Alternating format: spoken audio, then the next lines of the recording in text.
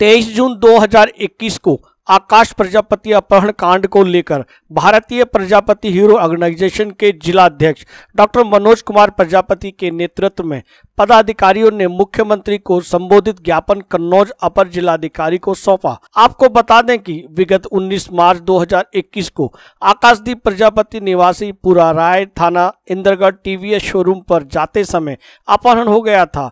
तीन महीने हो जाने के बाद भी पुलिस बिल्कुल खाली है।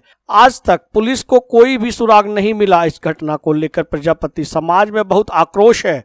आकाश प्रजापति के पिता स्वर्गीय सत्येंद्र प्रजापति का सात मई को कोविड की वजह से निधन हो गया। परिवार इस समय विषम परिस्थितियों से गुजर रहा है। सबसे दुख की बात यह है कि प्रशासन तीन महीने में किसी भी निष्कर्ष पर नहीं पहुँच पाया।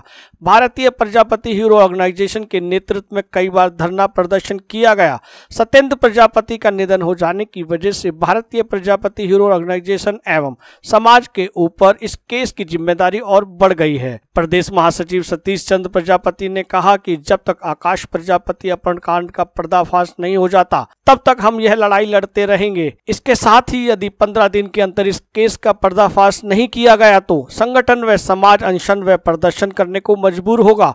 इसके साथ ही पुलिस अधीक्षक कन्नौज श्री प्रशांत वर्मा से मुलाकात कर उनको भी अतिशीघ्र एवं अपने कार्य में तेज़ी लाने के लिए ज्ञापन सौंपा। इस मौके पर सतीश चंद्र प्रजापति, प्रदेश महासचिव, डॉक्टर मनोज कुमार प्रजापति, जिला अध्यक्ष कन्नौज, विनोद कुमार प्रजापति, प्रभारी central UP, Vikas Prajapati, IT cell प्रभारी central UP, Pramod Prajapati, Vinod Prajapati, CRPF, doctor Rajesh Prajapati, Ram Prajapati Darshan Lal Prajapati, Anil Prajapati, Indragarh, Ankit Prajapati, क्षेत्र पंचायत के सदस्य एवं आकाशदीप प्रजापति की माता, श्रीमती रेखा प्रजापति भी मौजूद रहीं।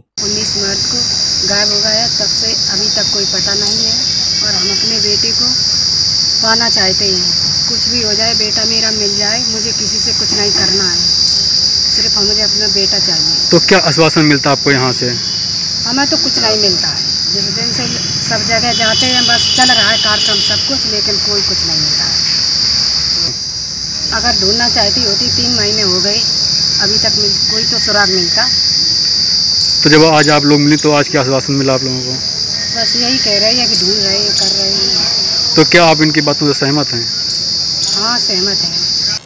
आज विगत 19 मार्च को हमारे समाज में पूरा राय थाना इंदिरागढ़ के तहत 19 मार्च को हमारे समाज का एक बेटा जो बीस वर्ष का था आकाशदीप प्रजापति उसका अपहरण हो गया। आज तीन महीने पूरे हो गए हैं। हम लोग कई बार यहाँ धरना प्रदर्शन किए हैं। कई बार ज्ञापन दिए हैं, मुख्यमंत्री को भी संबोधित किया है, लेकिन हम लोगों को आज तक कोई भी मतलब उसका प्रतिफल नहीं नज़र आया। कोई भी परिणाम पे हम लोग नहीं पहुँच पाए हैं। मैं पुलिस प्रशासन से भी आग्रह करता हूँ और ये कहना चाह रहा हूँ कि हमारी इस कार्रवाई को थोड़ा संज्ञान में ले और कार्य में तीव्रता लाए, क्योंकि समय बहुत ज़्यादा हो गया है। और एक बात मैं और कहना चाहूँगा कि यदि किसी विधायक या मंत्री या राजनेता का बेटा होता तो पुलिस प्रशासन उसको 24 घंटे के अंतर्गत अब तक खोज कर ले आती। लेकिन हमारे समाज का कोई कहने वाला नहीं है। हम लोग सीधे स्वभाव के हैं। हमारा समाज सीधा है, इसलिए हमारी आवाज़ को सुना नहीं जा रहा है। मैं मतलब डायरेक्टली ये कहना चाह रहा हूँ कि प्रशासन इस अपहरण कांड को गंभीरता से नहीं ले रहा है। मैंने इस ज्ञापन में स्पष्ट रूप से लिखा हुआ है कि पंद्रह दिन के अंतर्गत इस केस का पर्दाफाश न हुआ तो हम व हमारा समाज व पीड़ित परिवार प्रदर्शन व अनशन करने के लिए मजबूर होगा।